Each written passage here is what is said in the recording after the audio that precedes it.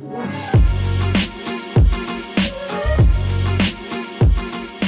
to MTG Countdown, where this week we're counting down the five worst cards ever printed. These are the stinkers, the clunkers, the, the absolute howlers that make you think, how did this card ever get printed?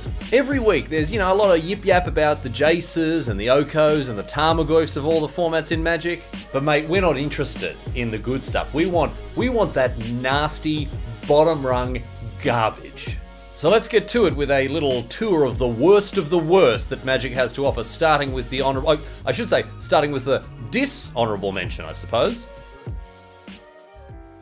The honorable mention this week goes to Chimney Imp. I chose this card mainly because I don't want to have to deal with YouTube comments talking about how I forgot about Chimney Imp. I mean, it's a bad card. No one's arguing with that. It is a bad card. But if you're in the business for inexplicably overcosted clunkers from years ago, let me introduce you to my good friend Zephyr Spirit. I mean, at least Chimney Imp gets a card out of their hand. Zephyr Spirit comes back to your hand whenever it blocks. I mean, what is this card? Why does it exist? Who needs a 6 drop 06 that bounces every time it does its job? This card is so perplexingly, so mind numbingly bad, and it's just the honorable mention. Strap yourselves in, my friends, you've got a long way to go yet. Number 5 this week might be the most misleadingly named card in all of Magic.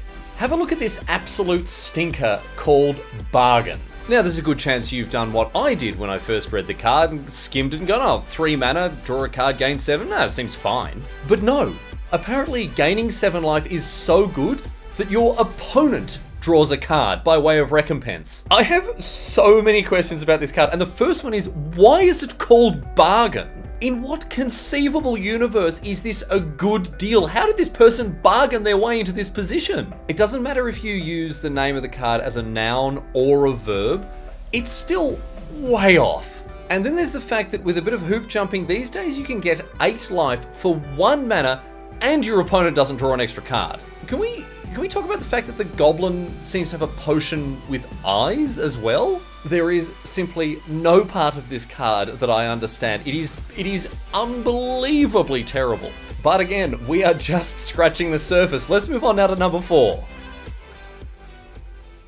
Number 4 is a card you might have seen before. It's Razor Boomerang. This card's pretty famous for being bad and with very good reason as well. For a grand total of 5 mana, you can do one damage. But wait, there's more. Did I mention you have to tap a creature so you're not attacking with it either? This deal just keeps getting worse and worse the more you think about it. And then there's a whole other side of the card to explore. Let's have a talk about the flavor of Razor Boomerang. First of all, it's being thrown at this weird horse, cow, rhino amalgam. I don't know what's going on there. But the real issue is that this card is trying very hard to be flavorful, and it completely fails. Think about it. When you throw a boomerang, if you've done it correctly, it will come back to you and you'll catch it. And things start off well enough. You unattach it from a creature, it flies off, it does one damage to something. But then it comes back to you, the wizard that's standing at the back controlling the whole thing, rather than the creature that threw it. Also, when you hit something with a boomerang, despite what you may have seen in The Legend of Zelda, it generally doesn't come back. Indigenous Australians weren't chucking boomerangs at kangaroos, sconning them, and then catching it on the way back. That's not how these things work. And even the flavor text just digs the hole deeper. Few can catch it without losing a finger. Why would you make a boomerang hard to catch? Its entire purpose is to come back and be caught by the thrower. Just throw like a razor edged frisbee or something if you're not in the business of catching it. How disposable are your fingers that you're hoping to catch a razor boomerang? Mate, there is just no part of this card that makes sense. On, on a gameplay and a flavor level, it has just stuffed it all up beyond belief. But it only gets better, or I mean, it only gets worse. Let's let's keep going. Next up at number three, it's Great Wall. Okay, fair enough. You pay three mana, put a great big wall into play, and all of a sudden now you don't have to worry about Plainswalk. But hang on, hang on a second. This wall is not a creature, it's an enchantment, despite the game having a long and storied histories of walls being creatures. So it's a wall that isn't a creature and can't block, but at least its ability is very relevant, right? After all, it nerfs Boggart Arsonist, Graceful Antelope, Righteous Avengers, Zodiac Rooster,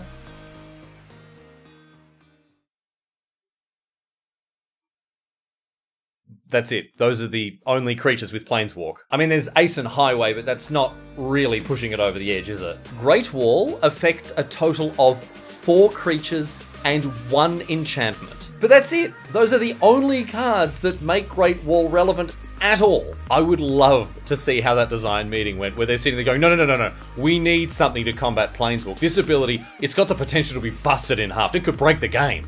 But look, I will happily eat my words when Graceful Antelope Aggro overtakes Legacy. Until then, Great Wall is an absolute stinker of a card. At number two, we've got Wood Elemental. Never was there a card to get your hopes up and then bring them crashing down than Wood Elemental. It starts off really well. Four mana for a Star Star. Oh, we're gonna get something good here. How big is this thing gonna be? Okay, yeah, the stars are equal to how many untapped forests we sacrifice as it comes into play. Not only do we have to sacrifice our lands to make this thing big, the lands also have to be untapped. This means at best you're casting a 4 mana 1 1 that Stone Rains you. What is this card? Why was it printed? I mean, I hate flooding out as much as anyone, but this isn't the answer I wanted. Gravelda just counts the forest, doesn't sacrifice them, also only costs 3 mana. I want to know what situation was envisaged when this card was printed. In what situation would this card ever be something that people go, ooh, ooh, can't wait to cast a wood elemental? It seems like Legends, generally, the set was just absolutely all over the place. Both this card and the last one, Great Wall, they were from Legends, but you know what else was? The Tabernacle at Pendrell Vale, Moat, and Mana Drain. Some of the most powerful cards ever printed in the history of the game could also be found in the same booster pack as Wood Elemental. And at number one, the worst card ever printed in Magic the Gathering, a Deckmaster game. You've probably already guessed what it is, but to be honest, there was never any chance of it being anything other than Sorrow's Path. Alright, alright, so, so, so, so let me hit you with this, right? It's a land, and you can tap it to exchange two blocks that your opponents have made. So if they've made the correct blocks, you can use Sorrow's Path to really just stuff them up. What's that? Mana? Oh, no, no, no, doesn't. No, that'd, that'd be too good. If it was a land that also tapped for mana, we'll have it. Come on.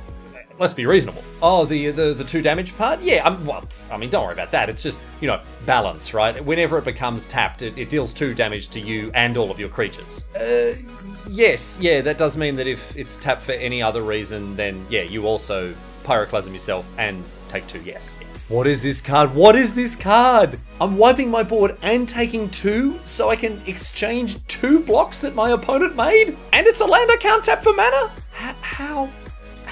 Why? What? Who? Who? Who? Who? And what? And and where?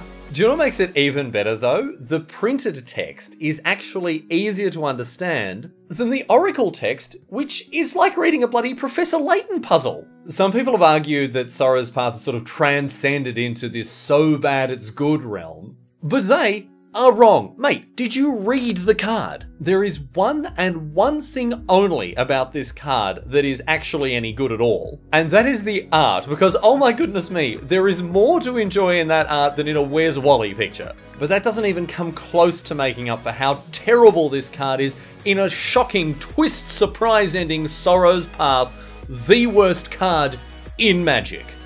What a twist! Thanks for watching MTG Countdown this week. What are your thoughts? What do you think is up there or down there with the worst cards in the history of the game? Maybe Avizoa or that uh, that black blue bounce spell where you take damage? Be sure to subscribe to Channel Fireball for more videos like this, and I'll see you next time for another MTG Countdown.